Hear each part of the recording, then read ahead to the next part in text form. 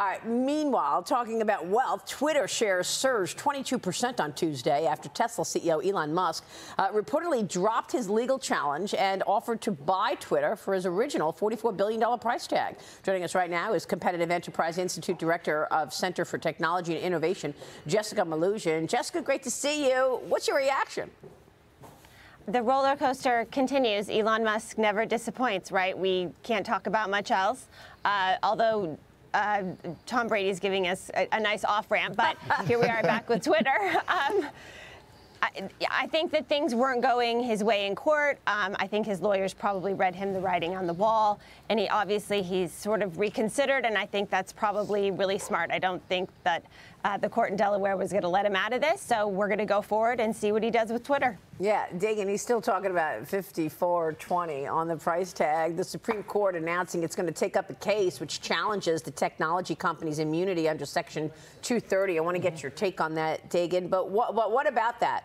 Uh, do you think that has anything uh, comes into play with this? I mean, were, it, you surprised? It, it, might. One thing that I noticed. Um, anecdotally on Twitter, as soon as this deal, um, this was announced yesterday, I know that people's follower counts started mm-hmm. falling.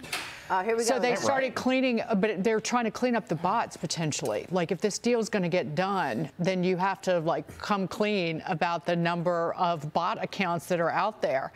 And it wasn't, it wasn't just mine. It was uh, many people had like kind yeah. of a decline in I wish they would just stop messing with the with the accounts. You know, I mean, just stop. Why do we see these huge moves? Because they're fake. Yeah, they're fake accounts. Because it has so many bots. I mean, that right. was Musk's point. This thing is filled with exactly. bots, and you just saw it last night.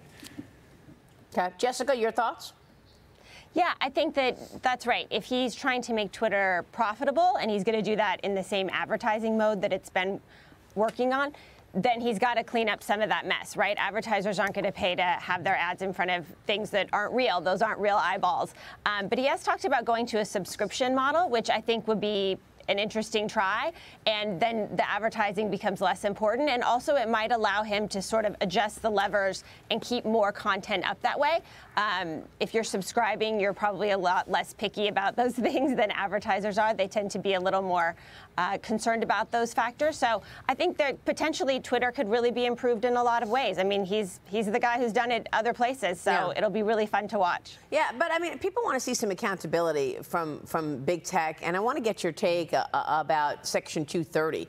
This 1996 law shields internet companies from lawsuits related to user content, Jessica, and now the Supreme Court is taking it on. How, how big is this, and do you think uh, we see some serious change here? Well, we certainly could potentially. So, what's important to remember about Section 230 is that it protects those internet platforms in keeping more things up.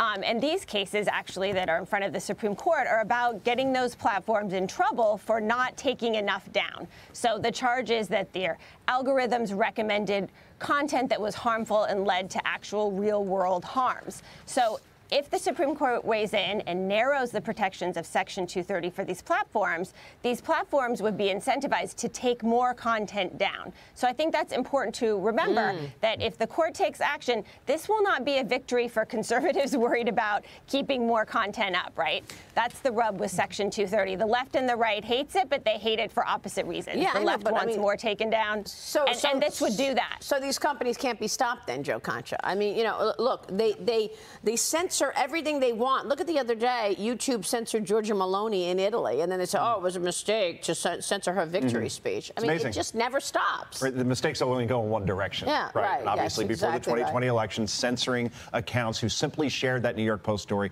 on Hunter Biden. Jessica, my question is, and this is something that you can't answer definitively. You talked about Elon Musk being unpredictable. Somebody else who's equally as unpredictable is the former president and Donald Trump. Do you think he returns to Twitter under an Elon Musk leadership where he has his own social media outlet in terms of uh, Truth Social, but will Donald Trump return to perhaps his favorite place in the world?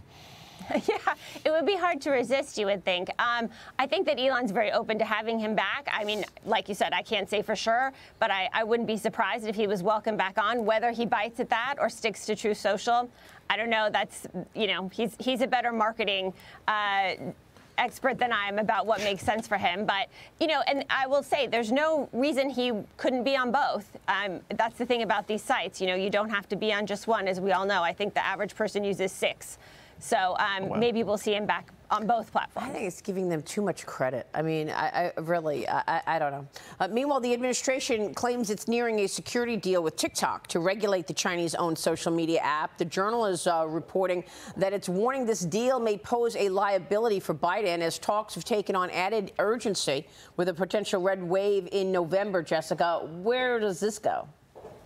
Well, the, the proposal that's being negotiated right now hasn't been made public, but we do know a few things about it. And what it centers around are a couple points, one of which is not letting Chinese employees of TikTok have access to U- U.S. consumer data on the app. So it, it's about moving all of that stuff over to the U.S. Um, Oracle might be involved with overseeing some of it. And there's a panel of security experts that would report to the U.S. government about any propaganda or misinformation that might be pushed through the Chinese government on the app. So we'll see if they can get that done ideally, I suppose it before the election. That's where a lot of these concerns come from. Um, I'm not sure they'll be able to get it done that quickly. It's all right, complicated. Jessica, thanks very much for weighing in on all of that. Good to see you, Jessica Melugin, this morning on All Things Tech.